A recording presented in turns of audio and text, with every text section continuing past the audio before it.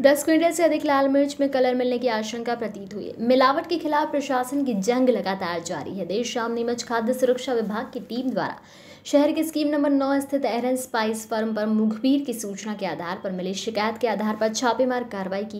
Police प्रशासन के साथ फर्म पर पहुँचे अमले को वहाँ भारी अनियमितता देखने को मिली। खाद्य विभाग ने जब ये जाँच की तो विभाग को 10 क्विंटल से अधिक लाल मिर्च में कलर मिलाने की आशंका प्रतीत हुई। एरन स्पाइस के संचालक अंकित एरन, पिता कृष्ण चंद्र एरन हैं।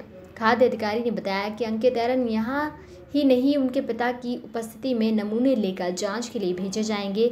वहीं जब तक यहाँ रखी मिर्ची और हल्दी को विभाग अपनी जब्ती में रखेगा। खाद्य अधिकारी ने जब फर्म के पास के कमरे में देखा तो वहाँ पर उन्हें महाकाल ब्रांड कलर के करीब सत्ताईस पैकेट मिले, जिन्हें विभाग ने जब्त किया है। फ़िलहाल खाद्य विभाग मिर्ची व हल्दी में मिलावट की आशंका पर जाँच कर रहा है। रिपोर्ट रमेश राठौर, मनासा।